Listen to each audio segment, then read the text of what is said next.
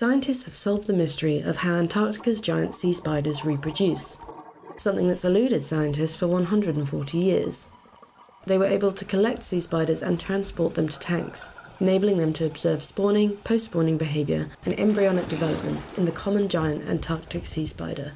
These giant sea spiders, the males do care for the young, but they do it differently, and they do it in a much simpler way than the other sea spiders. So it may provide a kind of a look at the evolutionary bridge that leads to fathers taking care of their offspring. Most sea spiders will carry their eggs until they're ready to hatch, but Antarctic sea spiders will attach their eggs to the rocky seabed. The eggs become very hard to spot because they develop microscopic algae. It's the perfect camouflage, confirmed by the fact that the researchers said it was really hard to see the sea spider eggs, even when they knew where they were.